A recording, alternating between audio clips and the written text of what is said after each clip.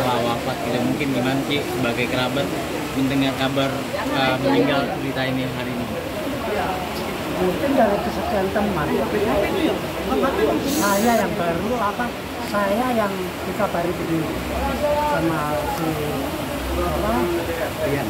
Bukan. Dimas David. Saya kaget kasih tahu. Si Pak. Jokowi meninggal. Antara percaya sama nggak percaya. Nah, saya juga telepon ke ponakannya Dimas. Menang pasti kamu ya saya share teman-teman ke grup. Ya udah saya tahu semua. Dan memang penyakit itu sudah lama sebenarnya lama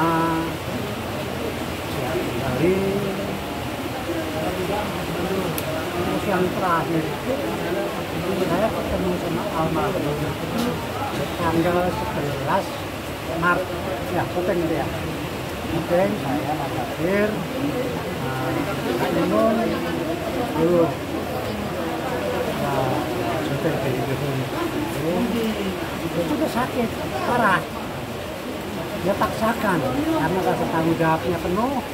Dengan godaan tetap jangan bisa aja ngomong. Kalau udah lah nggak syuting lah. Udah udah aku udah sehat sehat. Tapi oksigen tuh dia ke mana-mana bawa. Bukan oksigennya kecil ya gede. Saya udah sering kali teman-teman saya udah sering kali masih tahu. Udah lah kamu tak usah syuting. Apa sih itu dia paksakan karena rasa tahu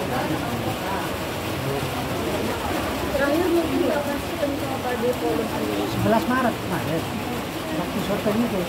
Dan itu pun ya keluar masuk keluar masuk rumah sakit gitu loh. Ya antral masuk rumah sakit udah agak enakan pulang. Mungkin mungkin ya mungkin. Dokter itu sudah tahu penyakitnya almarhum ya sehingga dokter tidak tidak tahu tidak mengharuskan dia rawat mungkin ya. Mungkin. Ada saya. ada riwayat berarti sebelumnya gitu ya om? Sa- riwayat sakit apa sih om? Paru-paru. Paru-paru. Dulu paru-parunya sudah sudah lubang. Kanan kiri udah lubang. Terus bisa sehat kembali ya itu sudah dilarang. Dilarang rokok dilarang karena dia sudah terasa sehat dia balik lagi rokok. ya.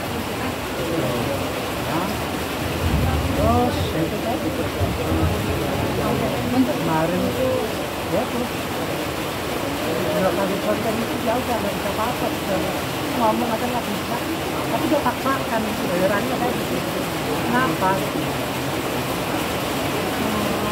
Untuk sosok sendi sosok Pak Polo sendiri di mata Mas Tete ini gimana? Mas Pul itu orangnya tegas ya tanggung jawabnya penuh tanggung jawab kerja maupun tanggung jawab sama keluarga itu penuh sekali Pak Ada nggak sih kenangan yang paling melekat gitu di mata Mas Apa? Polo? Kenangan-kenangan gitu. kalau kita bicara soal kenangan gimana ya cuma kita tidak dari satu atap ya tapi nggak bisa kita mau ngomongin yang itu Pul itu orangnya terbuka ya baik baik sekali nah, kebetulan ini ada salah satu ketua BKN Mas Bandi dan Mas Polo juga bergabung di BKN silakan Mbak Pul silakan om mungkin Terima kasih teman-teman ya. Saya bilangan sahabat, bilangan saudara. Saya jam 11 siang tadi mesti WA ke grup. Saya WA, ke Japri saya WA. Cuman di Japri nggak dibalas. Ya, Mas Pulu sehat selalu, tetap semangat. Itu jam 11. Saya WA, memang Mas Pulu ini perjuangannya sangat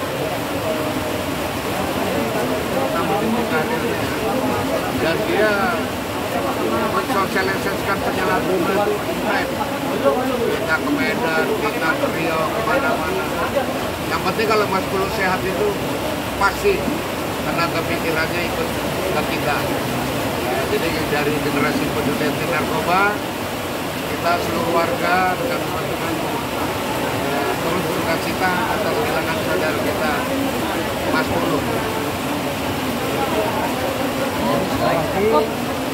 katakan selamat jalan saudaraku selamat jalan sahabatku mudah-mudahan kami karena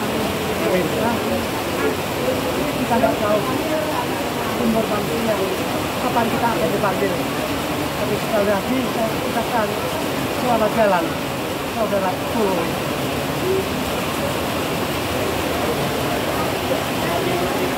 Terima kasih. Om.